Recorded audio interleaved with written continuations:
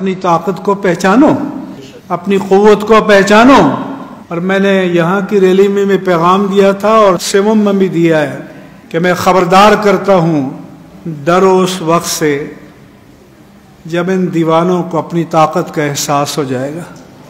जिस दिन इन मजलूमों और दीवानों को लब्बैक या रसूल अल्लाह के नारे लगाने वालों को अपनी ताकत का एहसास हो जाएगा इस सैलाब के आगे कोई नहीं ठहर पाएगा। इसलिए हौसला पैदा करो कुत पैदा करो, कोई मुश्किल वक्त आए तो फरियादें नहीं किया करो। कोई जेल से आपने खादिम हुसैन की फरियाद सुनी है? बोलो? ज़ोर से बोलो? तो हौसला पैदा करो।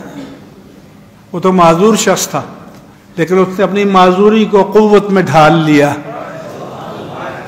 उसने अपनी ईमान और ईकान की कुत से माजूरी पर काबू पा लिया और मैं कहता हूँ कि लाखों कदमों अपनी सेहतमंद टांगों पर चलने वाले, करोड़ों चलने वाले इस माजूर पर कुर्बान हो जाए।